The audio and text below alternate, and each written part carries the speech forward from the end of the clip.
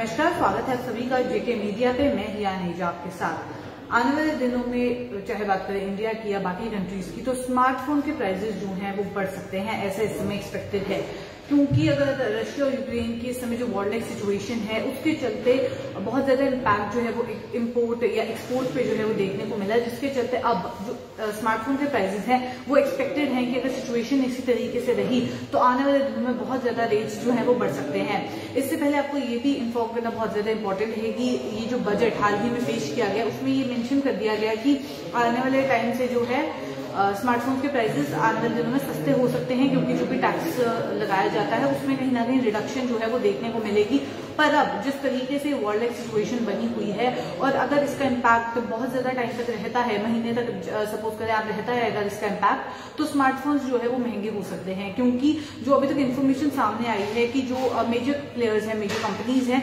उनके पास इतना स्टॉक है कि एक या दो हफ़्ते तक वो इस चीज़ का जो है वो प्राइस मेंटेन कर सकते हैं। पर अगर ये सिचुएशन बहुत लंबे टाइम तक चलती है, या फिर आप अगर रिपोर्ट्स की माने तो दो हफ़्ते से ज़्यादा अगर ऐसी सिचुएशन रहती है तो आने वाले दिनों में स्मार्टफोन्स के प्राइस प्राइजेस जो हैं, वो लगातार बढ़ते हुए नज़र आएँगे। इसी के चलते आपको बता दें कि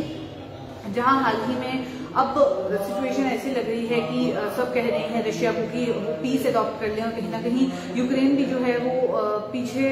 हटने का ऐलान जो है वो अभी तक कुछ ऐसी इन्फॉर्मेशन आई नहीं है। पर उसके चलते कहीं ना कहीं इम्पोर्ट एक्सपोर्ट पे बहुत इम्पैक्ट देखने को मिला है। जो चिप बनाने में जो चीज़ें यूज़ होती हैं, उसके मेजर सप्लायर हैं यूक्रेन क्योंकि यूक्रेन में नियॉन गैस का जो है, वो काफ़ी प्रोडक्शन देखी जाती है और उसी की एक, आप कह सकते हैं कि सब एलिमेंट जो है, वो चिप बनाने में यूज़ होता है। जिसके चलते वहाँ पे जिस तरीके से इम्पैक्ट पड़ा है, उसका ओवरऑल इम्पैक्ट जो है, वो चिप्स पे भी देखने को मिलेगा। यूएस सेमीकंडक्टर ग्रेड नियॉन का 90 परसेंट सप्लाई जो है, वो यूक्रेन की ओर से ही आता है। तो कहीं ना कहीं बहुत मेजर इम्पैक्ट जो है, वो देखने को मिलेगा। साथ ही साथ आपको बता दें कि कुछ रिपोर्ट्स की माने तो पैलेडियम जो कि 35 परसेंट सोर्स जिसका रशिया ही है, वो एक रेयर मेटल है, जो कि ये सेमीकंडक्टर बनाने में यूज़ होता है। तो जो सेमीकंडक्टर की बात करें अगर, वो 90 परसेंट सप्लाई ऑलरेडी जो है वो यूक्रेन से आती है, और जो उसमें प्रोडक्ट्स लगते हैं, उसमें 35 परसेंट जो है वो रशिया से आता है। तो दोनों जगह पे इस तरीके से इम्पैक्ट देखने को मिल रहा है। दोनों जगह से इम्पोर्ट एक्सपोर्ट अब देखें तो कहीं ना कहीं प्रभावित हुआ है, जिसके चलते अब ये प्रॉब्लम जो है वो आने वाले दिनों में देखने को मिल सकती है। है। इसी के चलते एक और चीज़ आपको बताना बहुत ज़्यादा इंपॉर्टेंट है कि 50 परसेंट न्यून ईस्टर्न यूरोप से लाया जाता है और प्लेयर अगर मेजर प्लेयर्स की बात करें तो इंटेल जो है वो काफ़ी इम्पैक्ट उस पर पड़ा है क्योंकि इंटेल जो है वो मेजर आप कह सकते हैं कि सेमीकंडक्टर या जो चिप्स हैं वो बनाता है, जिसके चलते जो इन्फॉर्मेशन अभी तक आ रही है वो ये कि स्मार्टफ़ोन जो है वो आने वाले दिनों में महँगे हो सकते हैं। अब जेपी मॉर्गन के अनुसार अगर देखा जाए तो